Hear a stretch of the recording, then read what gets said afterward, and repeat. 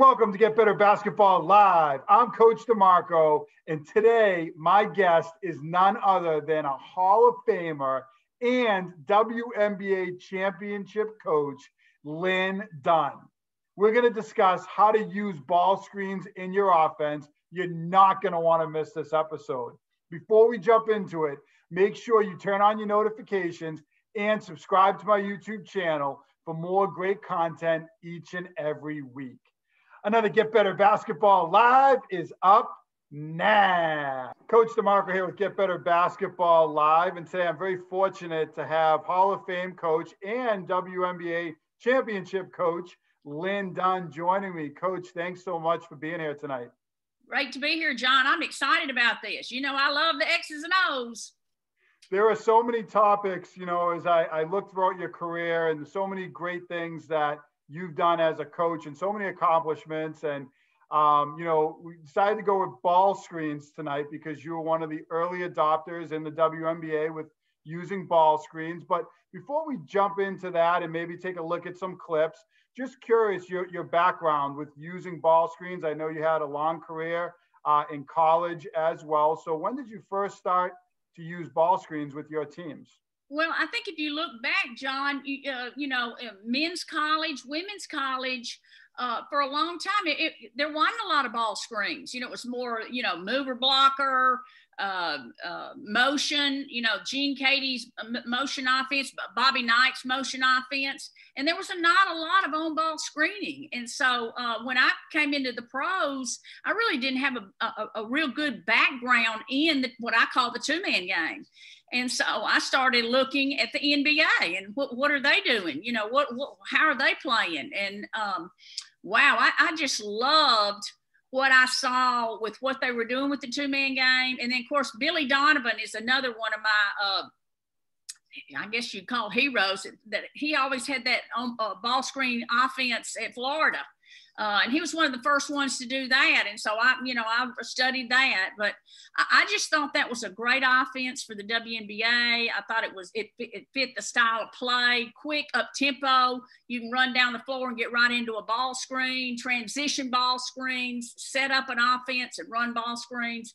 Um, and and so we kind of built our our franchise and our personnel around people that could play a, a, ball screen type. And so, you know, we use the, the, ball screen in transition. We use the ball screen, of course, in our horns plays. We use some ball screens in our in our Princeton actions. And so we just blended it throughout our program, and it really fit uh, what we were doing.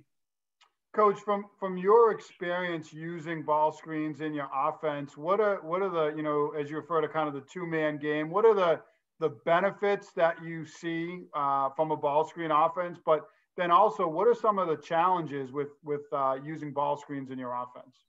Well, I think one of the benefits, uh, especially in transition, is a, it's a, a, quick hit. I love pushing the ball down the floor. The point guard passes it ahead to the wing, running the sideline, and the first post Run straight to that um, perimeter player and sets a quick on ball. And I think that is really, really hard to guard.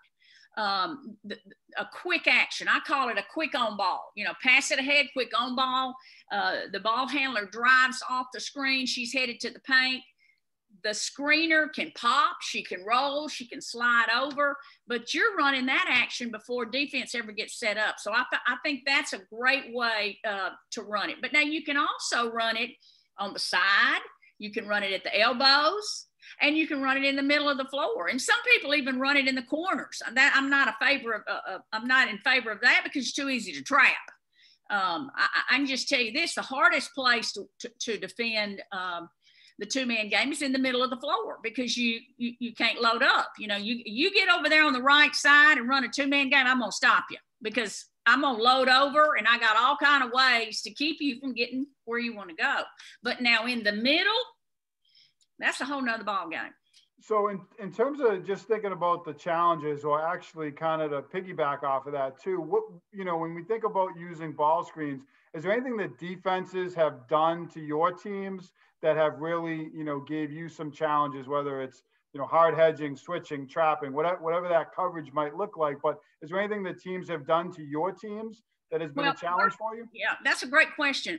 First of all, let me t- when I, when I start a ball game as a coach, I want to know two things. I want to know what your post defense is going to be that night. I want to, I'm going to find out early. I want to find out are you doubling? Are you fronting? I want to know how you're defending the post, and I want to know how you're defending the two man game. So very early on, I'm going to run a two man action.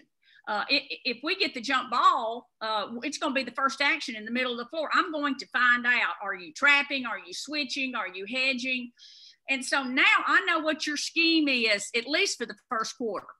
And so I know the actions that attack it the best. But I'm I'm not gonna wait till midway through the second half to start running. You know, I want to know those two things. I, I want to know. I know how you guard my post. Oh my gosh, you're fronting us. We're gonna uh, empty out the backside. We're gonna move her up. We're gonna lock. You know, so I want to know those two things. Um, I, I think what bothers the two man game the most, uh, in my opinion, could be switching if you're playing a great, I, I, think of North Carolina women when I was coaching in college, their point guard was six two. You know what I'm saying? And, and so if you're if you're playing a team that's athletic at every position, and you, they switch every screen on ball and off ball, that's really tough. That, so so switching is difficult. Um, I think icing um, is difficult because teams in particular um, at the college level don't don't work on how I'm going how am I going to attack icing, and so icing has come into play. Now it's harder to ice in the middle, and so you know if you're icing me really tough over on the side, then I may move my screens to the middle because I know it's harder for you to ice. Now you can't ice in the middle, so don't think you can't, but you can. Um, and then I, I, think another scheme that, that, that, that causes people problems is what I call ice red. And so as you come over to ice, you just go ahead and trap. And, and so that's very disruptive. And when you trap, everybody rotates, and all I'm giving you is the backside deep corner. And if you can get it over there, good for you. So, so people have come up with schemes and ways to um, to, to, cause problems. Uh, I, I, think the trap uh, can be disruptive. But hey, the guards this nowadays, you trap them, they're going to come right around your big and they're off to the races. So your big that's trapping better be mobile, agile, hostile, all that, because these guards are so good. Well, I appreciate that you mentioned the switching. Actually, in, in the we're going to take a look at a, a couple clips here in a minute, if that's if that's good with you, Coach, from uh, game four of the WNBA finals in 2012. And one of the things that you actually mentioned, they talked to you, uh, you know, during in between quarters or something like that. And you guys were trying to take advantage of those switches and whether it be a smaller player on one of your posts in the switch or a bigger player on one of your guards. And we're going to actually see that in, in some of these clips. In fact, I think maybe the first clip, uh, you, you get a switch on January and she attacks the hoop. But um, that that does come up, and you guys did a really nice job in, in this game attacking those switches and, and taking advantage of the mismatches. Well, I can promise you, John, we practiced it. You know, like if you know a team's going to switch, are you going to take the big one on one and attack her? Or are you going to roll the big down and post uh, her up or him up with the little on her? You've got two ways to attack there, but you have to practice it.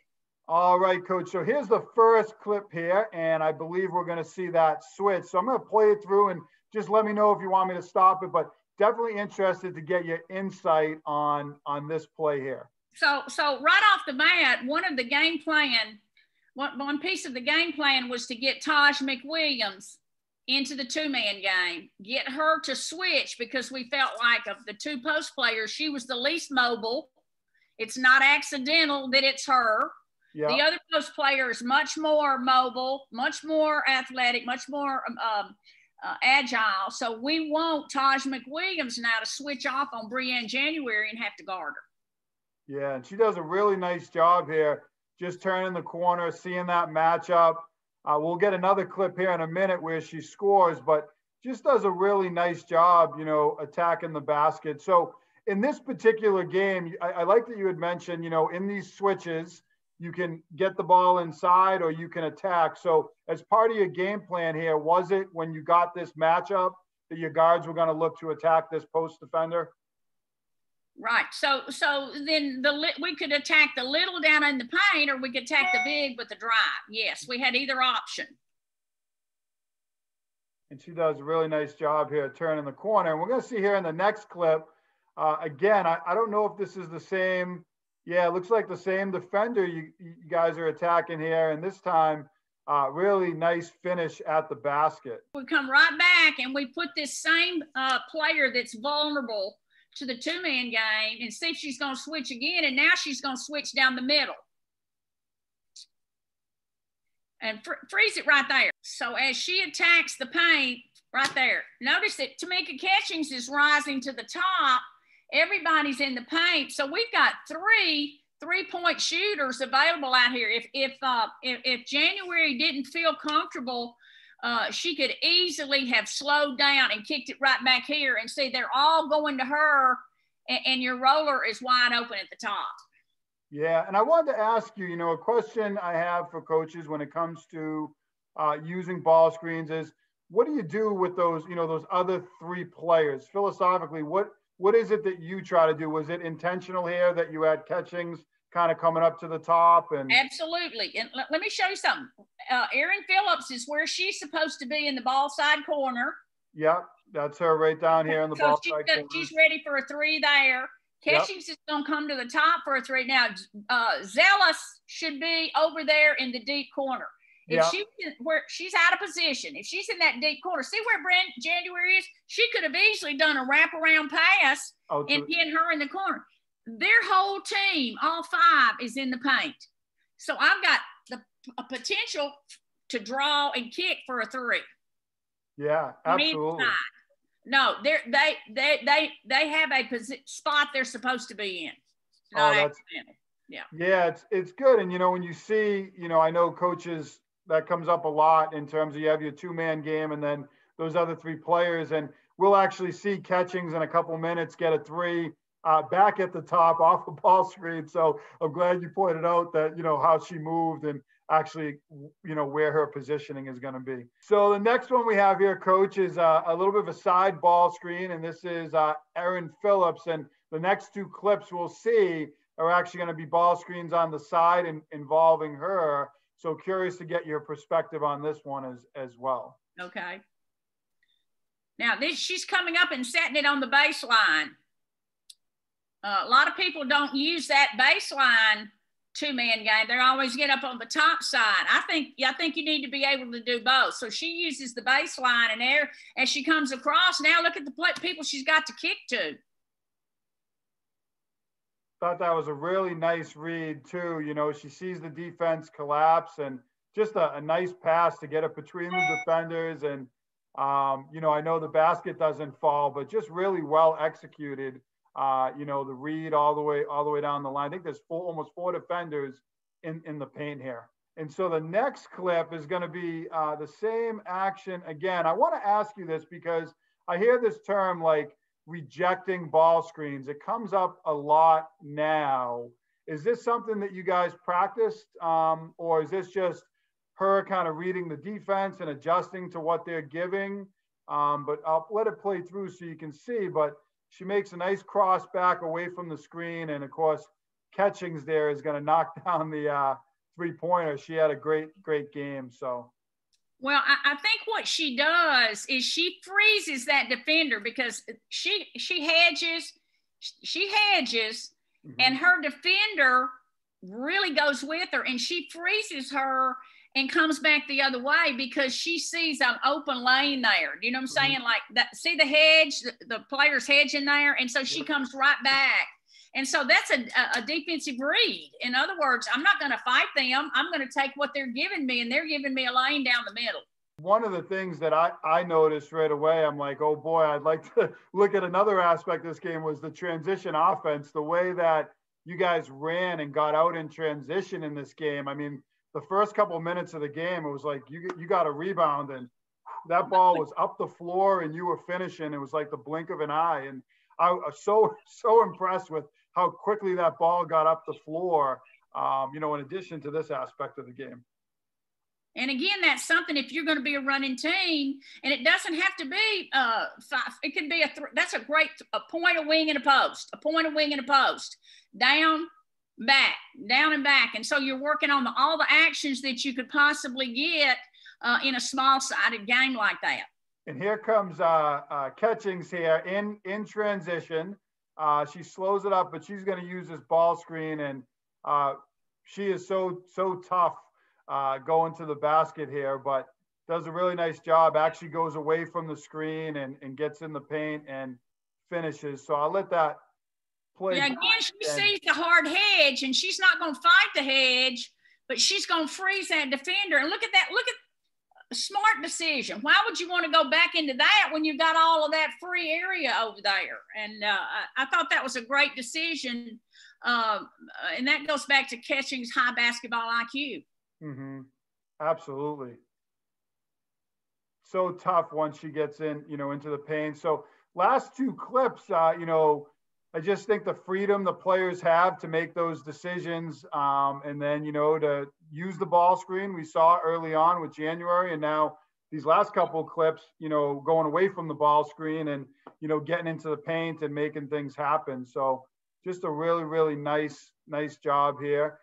And I think there's one more clip here, and I just wanted to ask you a question. We're going to see a really nice job here off the screen, uh, nice advantage here, and just going to, I'll freeze it on, on the kick out, but just wanted to talk to you just about making these reads. Is there, you know, I, I feel like I'm watching this game and I know they're professionals, but I just feel like the reads that they make, whether they're going away from the screen, using the screen, finishing, kicking, it's just, it's really good every single time. And four players in the paint, she makes a nice kick out here. So just wanted to ask for coaches who are watching, you know, is this something that you guys repped in practice? Is there something specific you did in film study um, to help players to make these reads the right way or correctly in, in the game and the flow of the game?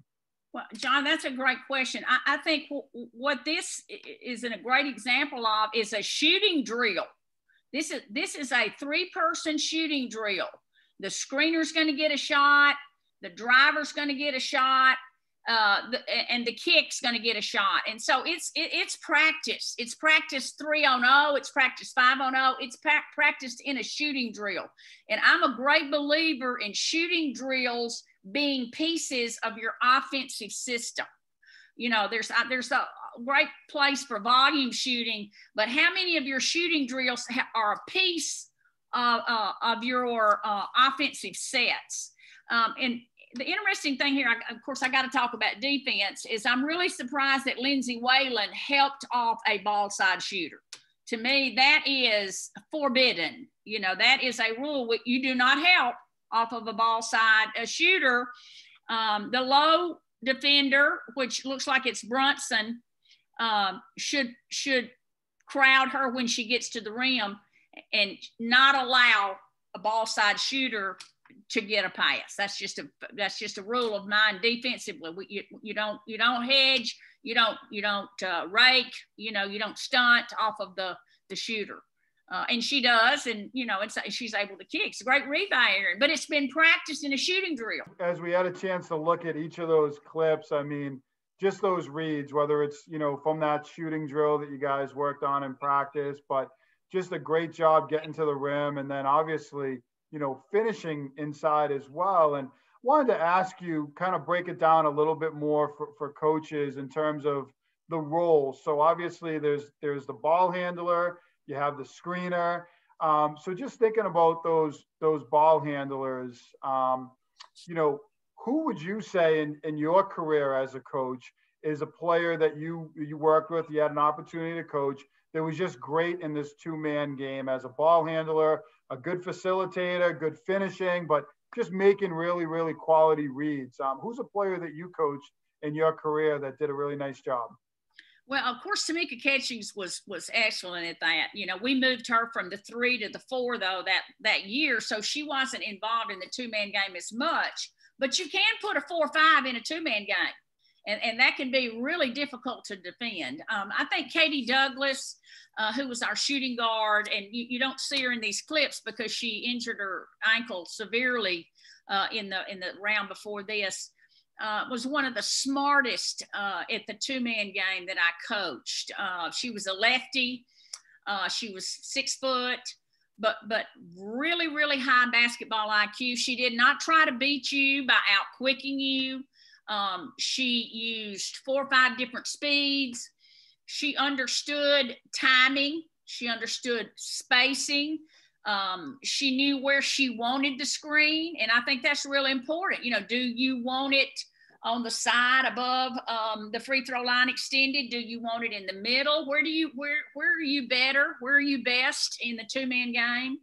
Uh, she knew how she knew what the counters were. If somebody iced her, she knew what to do about it. If somebody trapped her, she knew what to do. Um, if there was a hard hedge, she knew how to get around the hedger. She knew how to hit the roller um, she she just understood uh, the game really well. Um, but if you're going to run a two man offense, then you have to spend time knowing how to attack six or seven possibly different two man defenses.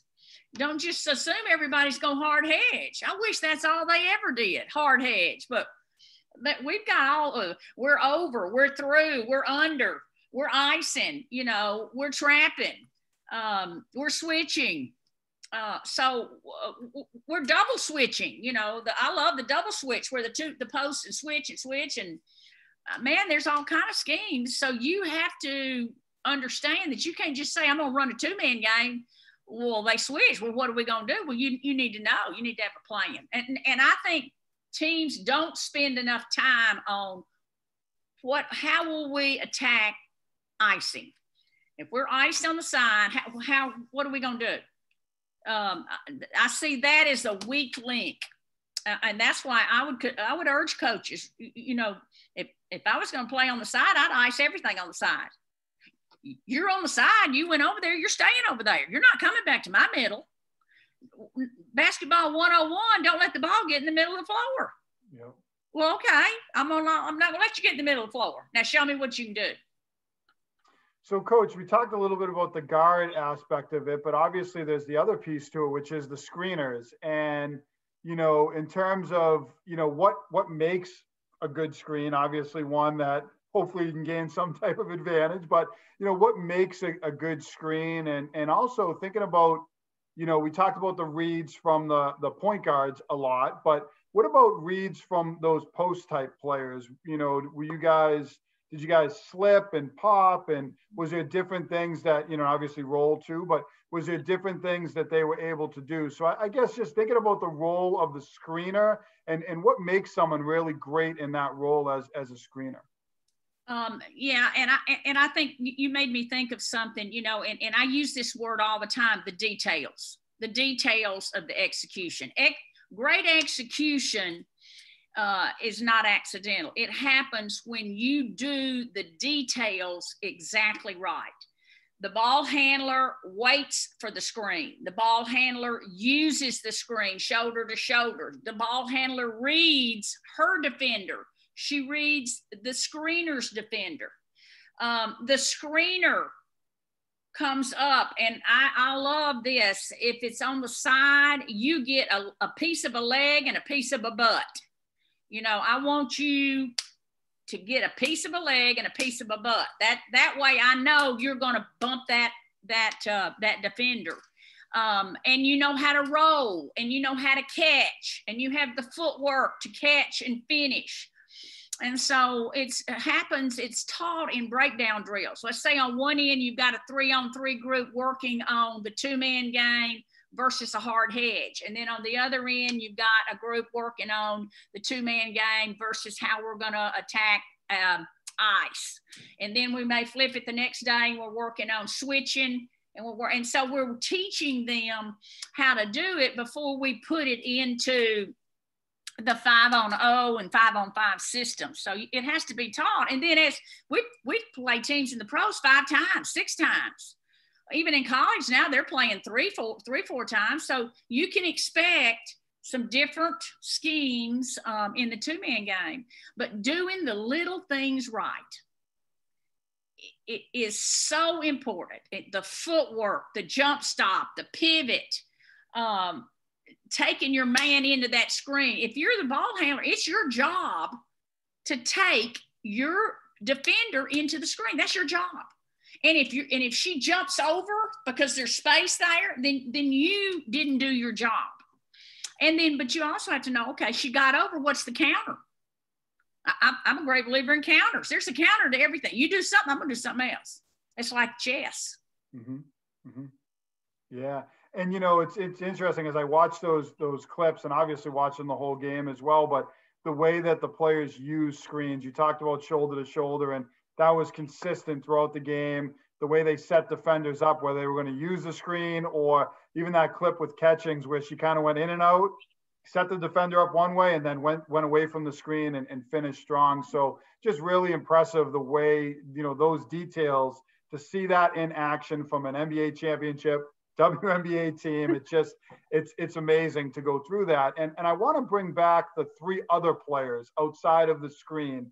We talked about it specifically to uh, this game and and where Catchings was coming back up to the top but just curious, um, kind of to revisit that. What is it with those other three players, and and how how do they be? How are they great in that role? We know a great ball handler, a great screener, the reads that they're making. What makes a player great if they're not in the two man game? What are the things that they can do to be successful? Well, and I think that's a key to a successful two man offense is what are the three players doing that aren't actually involved in the on ball screen because they're key. Spacing is crucial. Where are they? What are they doing when the action is happening? How are they responding if she slips, if she rolls? What if she pops? You know, so they have to be aware of what their job is and, and they can't be out of position. It, it, where they are for the kick is not accidental. There's always somebody in that deep corner. You know, this, this is how you execute this because you're not always going to be the one. You got to come off that screen ready to shoot, ready to pass, ready to kick.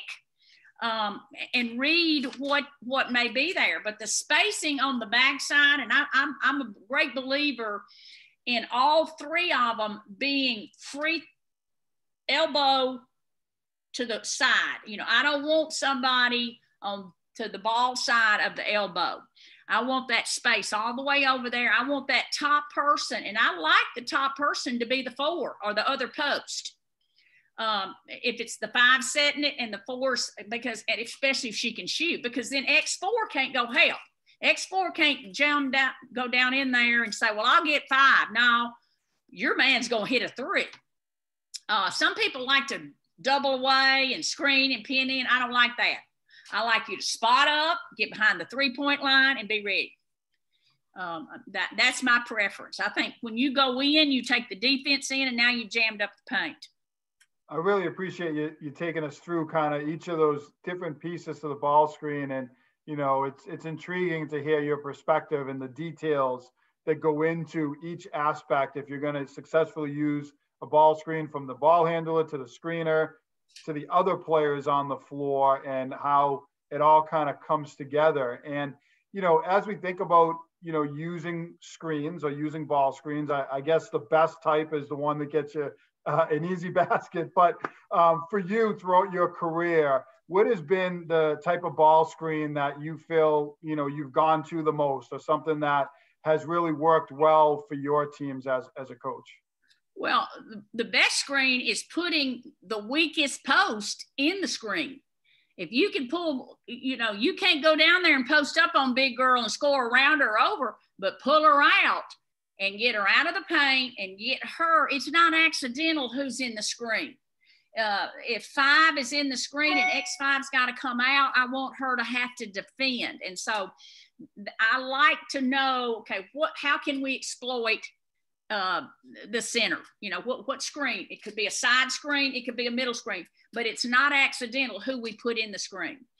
Uh, I really like the middle step up screen, the, the come up from behind. I like it in transition. And uh, I, I, encourage coaches uh, if you're with your point wing post work, running the floor, first post runs to the three point lines, turns around, steps up, and she's ready to set a blind back screen. Leave, give, leave the room. It's legal. And so your your your lead guard, whoever it might be, one, two, or three, whoever's got the ball, has the option to go off of either side of that step up screen. I think it's very difficult to guard. But if somehow your defender gets over, then it's immediate rescreen. And that's the hardest screen, I think. The step up, and then boom, she got under, and I turn right around and I slam her again, and now I'm off to the races. Yeah, I, I think that's the hardest screen to, to deal with. I wanted to ask you because I saw that in transition as I watched the game. So is that that's something that's predetermined for for your team in this particular game? You know, something that you guys did throughout the season in transition. You know, you don't get that fast break opportunity, but in the secondary opportunity, your posts were taught to set some type of ball screen um, more frequently than not. Absolutely. Let's remember this: in your first way, that's your first. I call it the first way if your first post has got a breakaway layup, go to the rim. If she, if I mean, but she's got to make that read around the half line. She knows at the half line, okay, I, have got, to, I, I'm going to get a layup. She reads at the half line, I'm, I'm not going to have a breakaway layup. So I'm going to be involved in a step up screen, or I may be, if she passed it ahead, I'm in that early quick on ball. So it could be two, it's, it's not you don't want to be too predictable, coach. You don't want, you okay, she passed ahead quick on ball. She held on to it, didn't have a layup. Now I got the step up screen. Oh, we might just dribble into a gun action. Mm-hmm. So there's three actions there uh, instead of just one. And, and that's a tip for all the offensive coaches. Make sure that you're not predictable. You've only got one action. Well, then I know how to stop that because you don't have a counter. Appreciate you kind of sharing that perspective. And, and, you know, thinking about we've we've talked about offense. I could probably sit here and, and talk for a long time. I love defense, defensive minded coach. So I could probably sit here for, for three hours and talk defense. But just want to ask one quick question in terms of ball screens and ball screen defense. I know you talked about the side ball screen and icing it. Um, just just want to get your perspective or some quick pointers for coaches in terms of ball screen defense. We're seeing it more and more at the NBA, all the way down, you know, even in the high school game now, there's a ton of teams uh, using ball screen offenses, college level obviously as well, and both both all, all types of basketball. So just a question for you is just what are those keys for you as a coach if you're trying to defend a team that's using, you know, ball screens 60% of the time? Well, first of all, figure out as is the scouting piece what are they trying to get out of the ball screen? Is the ball screen for a guard that's quick as lightning so she can get down and into your paint and get to the rim? Is that what it's for? Is it for so she can do a step back three?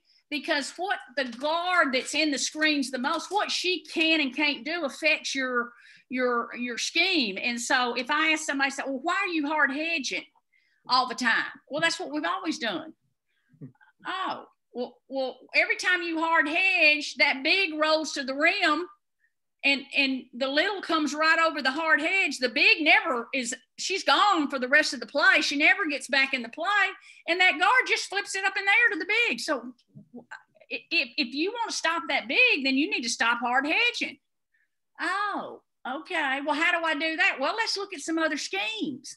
You know, we may flat show and I never leave the big you know, we may fight over in flat show. We may slide through. That guard can't hit the broadside of a barn outside the paint. Well, then, okay, I'm going to meet her at the nail because I know that's a little bit out of her range because she's trying to get to the rim. So I'm mm-hmm. thinking about what scheme will bother this particular two man action the most. It's not about what I like to do, it's about what, what hurts, what bothers um, um, the, the people involved in it. I don't know why more teams don't put the five on the two uh, on the side and then they hard hedge and the guard kicks it to the four and the four slams it to the rim to the five she's wide open well, maybe one that's over there in the corner, X1 may be down there at her knees, but you know, that's a great way to exploit um, a hard hedge. Mm-hmm.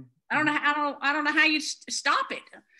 Well, four has to be able to shoot. You know what I'm saying? So um, it's it's but, interesting. Um, it's interesting too because I think for a period of time there, I'm thinking back to like uh, big Celtics fan from the Boston area, and uh, you know they hard hedged a lot when they had Kevin Garnett and they had the championship team there, and feel like at that time that that was the thing. Everyone was hard hedging, and now you're seeing a lot more teams that are starting to switch ball screens if they're able to do so. I know you mentioned that could be really effective, but um, you know it's just interesting. Slide through, you know, slide through and, and flat flat show. Mm-hmm. Uh, I like the bigs in the NBA now. Some of these seven foot two people, they just patrol the paint. You know what I'm saying? They're, they're saying, you know, we're going to give you a 16, 17 footer, but you're not getting to the, I'm a rim protector.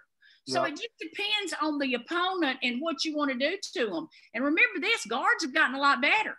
A long time ago, guards didn't know how to handle all of these different schemes, mm-hmm. you know, like trying to figure out how to guard uh, uh, Curry and trying to figure out how to guard, uh, you know, some of these guards now they're so good. And even the college guards now, the, the, the women, uh, college women and women pros, they're great ball handlers. They mm-hmm. understand the game better you know, you hard hedge and that's all you can do, you, you know, somebody's going to exploit you.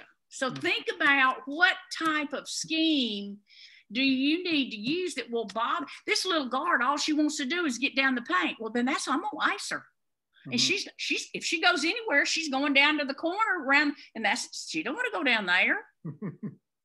you know, so I'm trying to do things with my schemes that disrupt uh, your best players. Yeah, yeah, no, I think that's a great. I think that's a great point, and I want to ask because talk speaking to the point of you know making those adjustments from game to game, and I have to ask a little bit off topic from the ball screens, but um, I, I, noticed in, in the WNBA finals here, and maybe you did this throughout the year, and I haven't seen all the the games on film. It's been eight nine years now, but um, you guys went to a zone on sideline out of bounds situation. So I'm like, I have to ask this question while I have you is, you know, what, why that, was that an adjust, was that something you did all the time or was it, they had an inbounds play or something that could give you problems? Said, you know what, we're going to go to a zone. We're going to switch in the zone and then we'll match up. But I'm curious why you guys went to a zone and those sideline out of bounds. Uh, th- that's a great question. Um, and, and, I think there's a lot of reasons why you do that. One reason why you may go to that is because you're in foul trouble you know, you, you a couple of key people uh, have gotten a, a, a foul and, and, you know, and you're, you're hurt and you're knowing, okay, we got to figure out a way. Could be fatigue. Okay, how can I rest a little bit on a couple of possessions? Okay, well, well, the zone's a lot uh, less stressful than the other, or, or in a particular. Hey, just show a different look. Mm-hmm. You know, like w- w- they they're expecting us to be uh, man to man. They're expecting us to do this. Okay, so we know the play they're going to run, and it doesn't work very good against the two-three zone. So may only do it one or two possessions, but in a in a close um, championship game, every possession is gold. You know, if you can get an, uh, a bad shot or a turnover or you know, and so just it's it's all about adjustments. And I want to say this, coach, because you you brought it up. You know, that is the challenge for a head coach is being able to adjust as the game is going along. You may have a plan, and that plan may go right out the window, right off the bat. And so I always thought it was important to say, what if? what if? What if they do this? What am I going to do? What if they do this? What if this happens? It, I was always playing in my mind and with my assistants. Well, what if? Well, what if? What if they go to a one three one half court trial? Oh, coach, they're not going to do that. Well, what if they do? You know, I, I wanted to be prepared so that whatever they threw at me, I could throw right back at them. Okay, you're going to do that? Well, guess what I'm going to do? You know, so that being able to adjust is just a real key, I think, to being a successful coach. Yeah, absolutely. And that's not an easy thing to do. And, and, you know, during the game or, you know, in a series, like, you know, you guys played in a best of five series, and it's like a chess match, you know, back and forth uh, with adjustments on on both sides. And I can imagine that's that's challenging as you play it. You have to beat a team, you know, three times in that series, and that's not an easy task against you know another championship caliber team. Well, especially when you don't have home court advantage. So see, we weren't. There's no way we were supposed to win. That just wasn't supposed to happen, and that's why it was even sweeter when we did. Seemed like you guys were having a lot of fun out there in that last game as you had the lead there. And uh, well, yeah, but it, I watched that game not too long ago. It was closer than I remembered it. I remember us winning. I thought, golly, Bill, that was you know that came right down to the wire.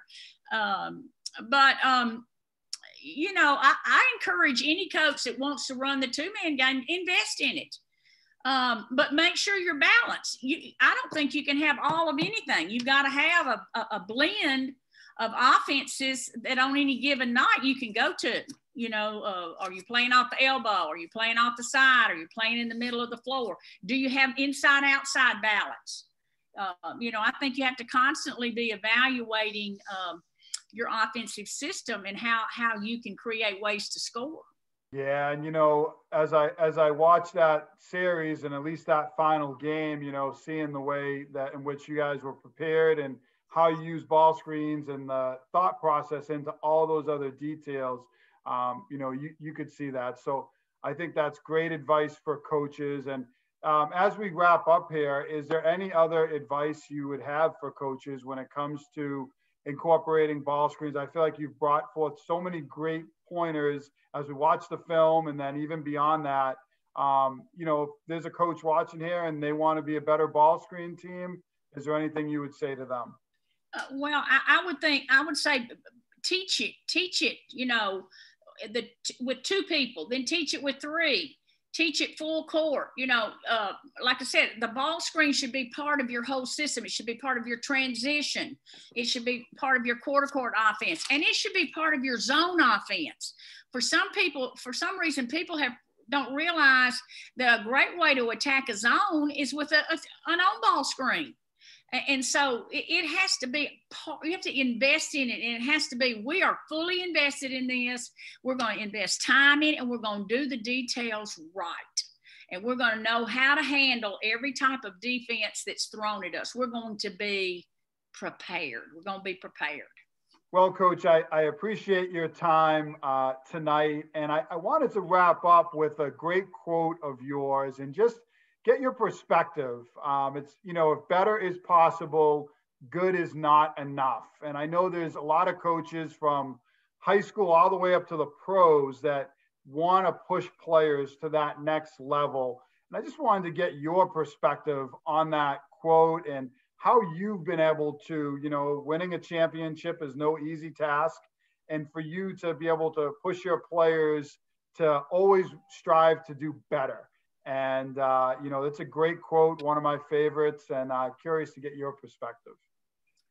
Well, it's always been something that's kind of been a, a, motto for me, you know, like if better is possible, good is not enough. And so it, it, it makes you constantly strive to continue to get better. It's a great motivator. It, you know, I love to say to a kid, you know, you're, you're good, you're getting good, but can you be better? Mm-hmm. Well, yeah, coach, I think, well, what can you do to be better? Tell me what you can do to be better. Well, I could come in, okay, then then if better's possible, then then good right now, it's not enough. But I think as a coach, I always said that to myself. You know, can I be better? What do I need to do? Do I need to go read another book, watch another clinic, you know, pull out some old Bobby Knight practice tapes? You know, wh- what do I need to do to continue to be a lifelong learner? Because I am a, I'm a great believer um, that when you're through learning, you're through. That's another one of my favorites. When you're through learning, you're through. So I want to know the newest technique, the newest ideas. I want to know the new concepts. I want to talk to people, other coaches. I've got some coaching friends. We talk a couple of times a week about X's and O's. I'm an X and O groupie. I mean, I just love it. I always have. I can watch film. I can watch. I can watch five, six games in one day. Uh, but but I love to learn, and so um, that that all goes with uh, if better is possible, good is not enough. You just keep pushing yourself to be better, to be never satisfied, never satisfied, and that's the bottom line. Well, Coach, thank you so much. I, I appreciate you joining me. It's been an honor to talk to you and be able to pick your brain and even watch some film clips with you as well. So, you know, thank you so much for being on and sharing your expertise with all the coaches out there. Well, you're welcome. And let me tell you what, thank you for what you do. Thank you for all of the clinics you do, all of the uh, the Twitter nights where we all talk about different uh, pieces of the game. Uh, I, I hope you realize how thankful we are that you do what you do. Thank you. Well, thank you. That means a lot coming from you, Coach. Uh, be well and have a great night. Thank you.